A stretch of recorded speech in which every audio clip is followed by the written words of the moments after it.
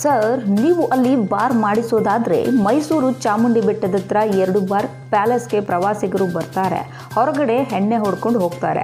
ಮಹಾರಾಜರಿಗೆ ಹೇಳ್ತೀನಿ, ನಾಲ್ಕು ಜನ ಸೇವಕರನ್ನ ಇರಿಸಿ ಅಂತ. ಹೊಸ ಕಮಿಷನರ್ ಆಫೀಸ್ ಹತ್ರ ನಾಲ್ಕು, ಹೈಸ್ಕೂಲು, ಪ್ರೈಮರಿ ಹತ್ರ ಜೊತೆಗೆ ಅಂಗನವಾಡಿ ಹತ್ರ ಒಂದೆರಡು ಬಾರ್ ಇದ್ರೆ ಅಲ್ಲಿನ ಮಕ್ಕಳು ಎಣ್ಣೆ ಹೊಡಿತಾರೆ. ಅನುಮತಿ ಕೊಡಿ ಸರ್, ನಾಳೆ ಕ್ಷಮೆ ಯಾಚಿಸಬೇಕು. ಅವರು ಇಲ್ಲ ಅಂದ್ರೆ ದೇಶದ ರೈತರು ಏನು ಅಂತ ತೋರಿಸ್ತೀವಿ. ಹೀಗಂತ ಅಬಕಾರಿ ಅಧಿಕಾರಿಯೊಂದಿಗೆ ರೈತರು ವಾಗ್ವಾದಕ್ಕಿಳಿದಿದ್ರು ಆಯ್ತು ಎಲ್ಲ ಗೊತ್ತಾಯ್ತು. ನೆನ್ನೆ ಕ್ಯಾನ್ಸಲ್ ಮಾಡಾಯ್ತು. ಜಿಲ್ಲಾ ಮಂತ್ರಿಗಳು ಚೆನ್ನಾಗಿ ಅವಮಾನ ಆಗಿದೆ. ಅಲ್ಲಲ್ಲ ಬಾರ ನೀವು ಅಲ್ಲಿ ಮಾಡ್ಸೋದಂದ್ರೆ ಸರ್ ಇರಿ ಸರ್ ಇರಿ ಸರ್. ಮೈಸೂರು ಚಾಮುಂಡಿ ಬೆಟ್ಟದಲ್ಲಿ ಎರಡು ಬಾರ್ ಕೊಡಿ.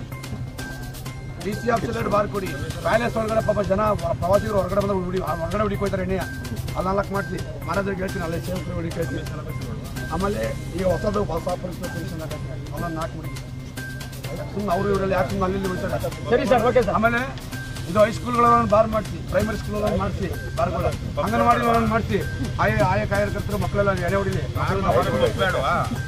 ದಯಮಾಡಿ ಅವನು ನಾಳೆ ಕ್ಷಮೆ ಯಾಚನೆ ಮಾಡಲಿಲ್ಲ ಅಂದ್ರೆ ಅವನ್ನ ರೈತರು ಮೈಸೂರು ತಾಲೂಕು ನಾಗನಹಳ್ಳಿ ಗ್ರಾಮ ಪಂಚಾಯಿತಿ ವ್ಯಾಪ್ತಿಗೆ ಬರುವ ನಾಗನಹಳ್ಳಿ ಗ್ರಾಮದಲ್ಲಿರುವ ಕೃಷಿ ವಿಶ್ವವಿದ್ಯಾನಿಲಯದ ಪಕ್ಕದಲ್ಲಿ ಬಾರನ್ನ ತೆರೆಯಲು ಮುಂದಾಗಿರುವುದನ್ನು ಖಂಡಿಸಿ ಕರ್ನಾಟಕ ರಾಜ್ಯ ರೈತ ಸಂಘ ರೈತ ಬಣದಿಂದ ಕುವೆಂಪು ನಗರದಲ್ಲಿರೋ ಅಬಕಾರಿ ಆಯುಕ್ತರ ಕಚೇರಿ ಮುಂಭಾಗ ಪ್ರತಿಭಟನೆ ನಡೆಯಿತು.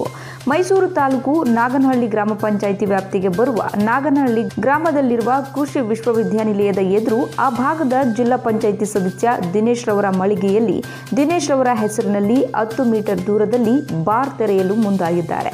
ಬಾರ್ ತೆರೆಯುವುದಕ್ಕೆ ಅವಕಾಶ ಮಾಡಿಕೊಡಬಾರದೆಂದು ಆಗ್ರಹಿಸವೂ ಆಗುತ್ತೆ ರೈತರನ್ನ ಹಗುರವಾಗಿ ಮಾತನಾಡಿರುವ ಅಬಕಾರಿ ಆಯುಕ್ತರು ನಾಳೆ ಕ್ಷಮೆ ಯಾಚಿಸಬೇಕು ಇಲ್ಲಾಂದ್ರೆ ದೇಶದಲ್ಲಿ ರೈತರು ಏನು ಅನ್ನೋದನ್ನ ತೋರಿಸ್ತೀವಿ ಅಂತ ಸವಾಲು ಹಾಕಿದ ಘಟನೆ ನಡೆದಿದೆ bureau report Nandini Nayak news one not one Mysuru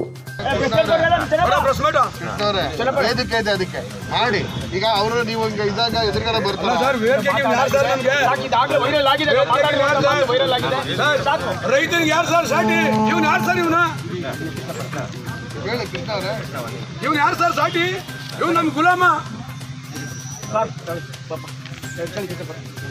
ಇವ್ ನಮ್ ಗುಲಾಮ ಸರ್ ಇವನು? ಮಂತ್ರಿಗಳು ವಜಾ ಮಾಡಿರೋದಿದ್ದಾರೆ ನಿರಂತರ ಸುದ್ದಿಗಾಗಿ news one not one YouTube channel ಅನ್ನ ಸಬ್ಸ್ಕ್ರೈಬ್ ಮಾಡಿ ಬೆಲ್ ಐಕಾನ್ ಒತ್ತಿ.